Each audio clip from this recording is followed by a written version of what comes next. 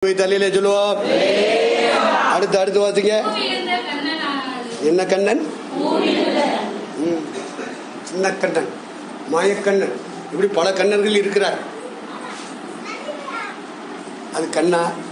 கண்ணா கருமை நிறம். கண்ணா. அப்படியா?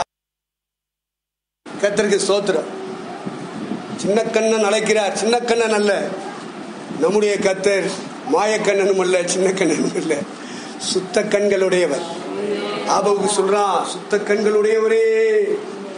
கூப்பிடான் நீங்க நிக்கா கூப்பிடலா பரிசுத்தமான கண்களை உடையவர். தீமையை பார்க்க மாட்டாத சுத்த கண்கள் உடையவரே. உலகால் அடிக்கும் போது அப்படி சொல்லி கூப்பிடணும் நம்முடைய ஆண்டவரை. அல்லேலூயா சுத்த கண்ணுடையவரே நம்முடைய கர்த்தர். சுத்த கண்ணன். என்ன கண்ணன்?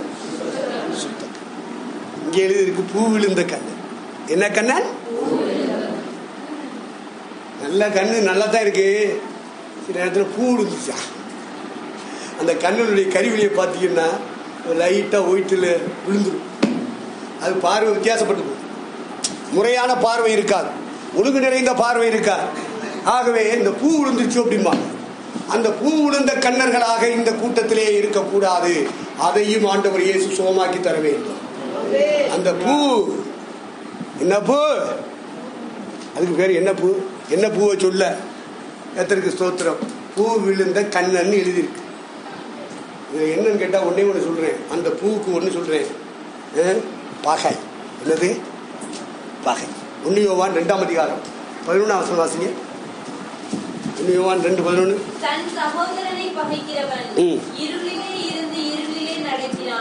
இருளானது அவன் கண்களை குருடாக்கினபடியால் ம். தான் போகும் இடம் இன்னதென்று அறியாதிருக்கிறான்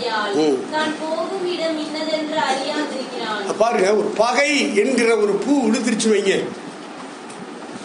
நம்முடைய ஆவிக்குரிய பார்வையை மாறி யார் மேலே இருக்கட்டும் புருஷன் மேலேயா? பிள்ளைகள் மேலேயா? உன் சொக்கார மேலேயா? உன் சபையில் கூ உன்னோட சேர்ந்து ஆராதிக்கிறாங்களே உன் கூட்டு விசுவாசி மேலேயா? உன் ஊழியக்காரங்க மேலேயா? உன் இருதயத்தில் ஒரு பகை உணர்வு பகை உணர்வு. சிலர் வெளியே காட்டிடுவாங்க சிலர் வெளியே காட்ட மாட்டாங்க. இந்த பகை உணர்வு விழுந்துச்சுன்னா கண்ணுல பூ விழுந்த கதையை ஆயிப்போம் தன் சகோதரனை பகைக்கிற ஏவனும் என்று எழுதப்பட்டிருக்கு. இருளிலே இருந்து இருளிலே நடக்கிறான் அவன். சத்தியத்தில் நடக்கல உபதேசத்தில் நடக்கல அவன் கத்தருக்குள்ள நடக்கல. பகையானது அவன் கண்களை குருடாக்கி விடுகிறது. நல்லா தான் இருந்தாங்க நல்லா ஜெபம் பண்ணாங்க நல்லா பாட்டு பண்ணாங்க நல்லா ஆராதிச்சாங்க நல்லா வேலை வச்சாங்க நல்லா ஊழியம் பண்ணாங்க. ஆனா பகை என்கிற உணர்வு உங்க இருதயத்தில் உட்கா என்னைக்கு உட்காந்துச்சோ அன்னைக்கே அவங்க பார்வை மாறி. ஆவிக்குரிய பேச்சு மாறி. ஆவிக்குரிய நட மாறி. இந்த பூ விழக்கூடாது. உனக்கு யார் மேல பகை இருக்கு? யார பழி வாங்கணும்னு நிக்கிற? ஒரு ஊழியக்காரரோட சேர்ந்து ஜெபம் பண்ணிட்டு இருந்தேன் ஒரு குறிப்பிட்டதான் நல்ல ஊழியக்காரன் நல்ல பரிசுத்தவா நல்லா கண்ணீரோடு ஜெபிக்கிறவன் கால நேரத்தில் தூங்கவே மாட்டான் எந்திரிச்சுவான். நாலு மணிலேருந்து ஆறு மணி வரைக்கும் ஜெபம் ஓடிட்டே இருக்கு. அதனால அந்த ஆளோட போய் சேர்ந்தோம்னா நம்மளும் காலையில் ஜெபம் பண்ணலான்னு இப்படி போயிட்டு போயிட்டு இருந்தேன் பல வருஷம் ஓடிட்டு இருந்துச்சு. ஒரு சில ஆண்டுகளுக்கு பின்னாடி அதிகாலை ஜெபத்தில் உட்காந்துருக்கோம் நானும் அவர் ஜெபிச்சுட்டே இருந்தார். நல்ல சத்தமாக தான் ஜெபம் பண்ணுவார். வாயை முடிக்கிட்டுலாம் ஜெபம் பண்ண மாட்டார். முழு முழு ஜெபம்லாம் இருக்காது. நல்ல முழங்கால ரெண்டு மலை மலை மலை மலைன்னு சத்தம் ஓடிட்டு அது ஒரு அதனால நமக்கு என்ன சரி அவரோட சேர்ந்தா நம்மளும் ஜெபிக்கலான்னு பல வருஷமா அப்படித்தான் போயிட்டு இருந்தேன். நல்லா தான் இருந்துச்சு. திடீர்னு பார்த்தா சொல்லிட்டே இருக்கும்போது சொன்னார் ஆண்டவரே அவ எனக்கு விரோதியாக இவ்வளவு தூரம் பேசிவிட்டா என்னைய. நான் தேவ மனுஷன். அவன் கையை ஒடியும் ஆண்டவரே. அவன் காலை ஒடியும் ஆண்டவரே. எனக்கு ஜெப ஆவியே போயிடுச்சு. அந்த மன்றாட்டின் அபிஷேகமே என்னை விட்டு தூரம் போச்சு. என்னப்பா ஒரு ஊழியக்காரன் இப்படியா ஜெபம் பண்ணுவான்? காலை ஓடி கையை ஓடி ஏ அதனால கூலிப்படையாக இருக்கு பருவத்தில். என்னையா இது அக்கிரமம்? இது நல்லா தானே இருந்தா? அதான் கண்ணில் பூ விழுந்துருச்சு ஒரு அலையில சொல்லுங்க. பக்கத்து வீடு ஒரே ஒரு வீடு தான் ஜெப வீட்டை சுற்றி இருக்கிற வீடுகளில் ஒரு வீட்டினுடைய பகையை சம்பாதிச்சிட்டான். ஒரு வீடு. ஒரு ஆள் உன்னை பகைச்ச போதும். அவன் பாய்க்கட்டு. நீ பாய்க்க கூடாது. அதான் விசேஷம். உனக்கு எதிரிகள் இருக்கலாம் அந்த எதிரிகள் பகைக்கலாம் துரோகம் பண்ணலாம் தீமை செய்யலாம் அக்கிரமம் பண்ணலாம் உன் முன்னேற்றத்தை தடுக்கலாம் உன் பெயருக்கு கலங்க கற்பிக்கலாம். ஆனா ஓ ஒரு உணர்வு கூட அவனுக்கு விரோதமா வரக்கூடாது. அதுக்கு பேர் தான் தேவ அன்பு. அல்லையிலே சொல்லுங்க. மற்றதெல்லாம் மனுஷ அன்பு. பொறுத்தது போதும். பொங்கி எழு தமிழா அப்படின்னு போயிடக்கூடாது. எத்தனை துரோகம் கொண்டாலும் சிறுவிலேயே அடிச்சு அடிச்சு கொண்டாங்களையா நச்சு நச்சு கொண்டாங்கல்ல. அந்த தலைவரை பின்பற்றுகிற கூட்டம் இந்த தங்கச்சி மட கூட்டமா இருக்கணும் அதான தேவ அன்பு? மற்றது மனுஷ அன்பு. நேசித்தால் மட்டும் நேசிப்பது.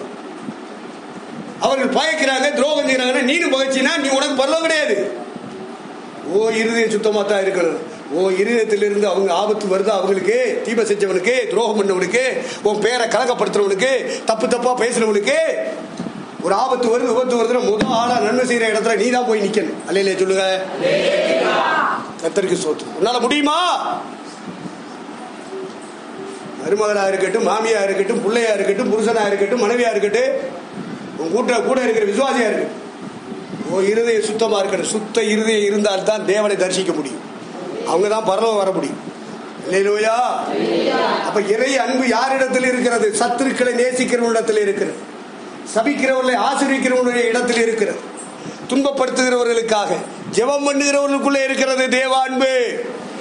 தேவ அன்பு எங்கேயா இருக்கு? சத்துருக்களை நேசிக்கிறவனுடைய இடத்தில் இருக்கு. பகைக்கிறவனுக்காக ஜெபம் பண்ணுறவனுடைய இடத்தில் இருக்கு. துன்பப்படுத்திட்டே இருக்கான். பேரை கலங்கப்படுத்திட்டே இருக்கான். கெட்ட பேரை உண்டாக்கிட்டே இருக்கான்.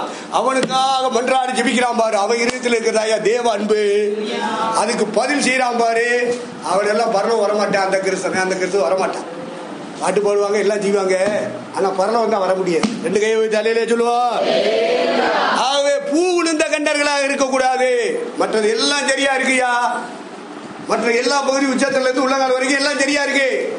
ஆனா கண்ணுல மட்டும் என்ன இருக்கு? பகை உணர்வு. ஊழியக்காரன் அன்னைக்கு இந்த பகை ஒரு ஆள் பகைச்ச பகைக்கு இடம் கொடுத்தான் பாருங்க அதுக்கப்புறம் சுற்றி இருக்கிற வீட்டையெல்லாம் பயக்கிற இடத்துக்கு போயிட்டான் போலீஸுக்கு போயிட்டான். கேஸ் போட்டான். கோர்ட்டுக்கு போயிட்டான். கடைசியில் ஜப விசுவாசி எல்லாம் பின் வாங்கிட்டாங்க. ஏன்னா இவன்ட்டு அந்த ஆவிக்குரிய ஜப இல்லை. ஊழியக்காரன்ட்ட. ஆவிக்குரிய அந்த வார்த்தைகள் இல்லை. அதனால என்ன ஆகி போச்சு விசுவாசிகளும் பின்வாங்கி பின்வாங்கி பின்வாங்கி அதில் ஒரு கோஷி ஐயா நீங்கள் கேஸ் போட்டு நல்லது அப்படின்னு சொல்லிட்டு இருக்கேன். அவன் பின்வாங்கி போயிட்டான். ஐயா போலீஸுக்கு போகணுமியா. விடக்கூடாது ஐயா இவங்கெல்லாம் நம்மளா. நம்ம சமுதாயம் பெருசு. எப்படி மாம்சத்தின்படி யுத்தம் பண்ணக்கூடாது. எங்களுடைய போர் ஆயுதங்கள் மாம்சத்துக்கு ஏற்றவைகளா இல்லை. மாம்சத்துக்குரியவைகள் அல்ல. எங்களுடைய போராயுதங்கள் எல்லாம் ஆவிக்குரிய போராயுதங்கள். ஆயுதங்கள் நம்ம எடுக்கிற ஆயுதங்கள் அத்தனை ஆவிக்குரியதா இருக்கணும். மாம்சத்துக்குரிய உலக மக்கள் எடுக்கிற மாதிரி முடிவுகள் எடுக்கக்கூடாது. போராடக்கூடாது. வாக்குவாதம் பண்ணக்கூடாது. தர்க்கம் பண்ணக்கூடாது. எதிர்க்கக்கூடாது. இருதயத்தை சுத்தமா பாதுகாக்கணும். பழி வாங்குற உணர்வு இருக்கக்கூடாது. கத்தருக்கு ஸ்தோத்திரம். இருதயத்தில் சுத்தமுள்ளவர்கள் பாக்கியவான்கள் அவர்கள் தேவனை. கரங்களை தலையில சொல்லோ. ஆகவே யாரு பூ விழுந்திருக்கு? இப்ப இங்க இருக்கிற எல்லாருடைய கண்ணையும் பார்ப்போம். யார் கண்ணில் பூ விழுந்திருக்கு? கண்ணாடியை போட்டா எனக்கு தெரியாது நினைக்கிறீங்களா? அவருக்கு தெரியும். எனக்குள்ள இருக்கிற ஆவியானவருக்கும் தெரியும். கையை வை தலையிலே சொல்லுங்க.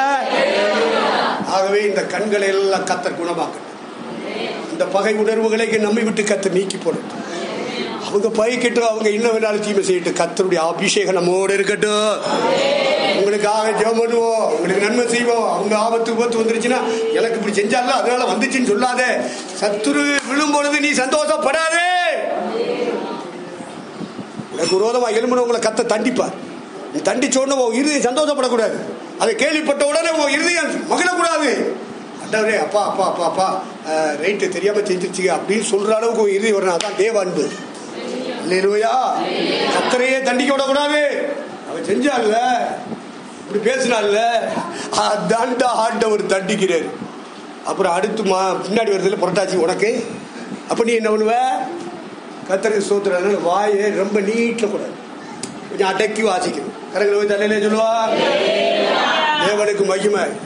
இது வந்து ஒரு ஆவிக்குரிய சபையா மாறணும். அதுக்கு தான் இந்த சத்தியம்.